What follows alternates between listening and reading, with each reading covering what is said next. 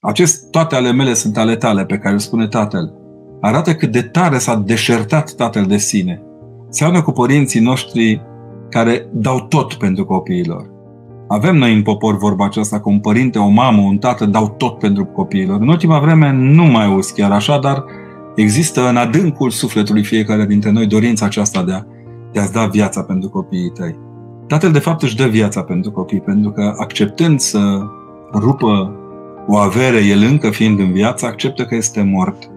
Nu puteai fi moștenitor nici atunci, nici acum, decât a lucrurilor cu care nu mai aveai nimic de împărțit, pentru care nu mai aveai stăpânire, pentru care nu mai aveai cum să ai proprietate. Ori nu mai erai proprietar în momentul când te declarai mort.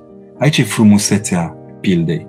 Un tată mort își vede un fiu întors din morți și își vede un fiu negând învierea celuilalt.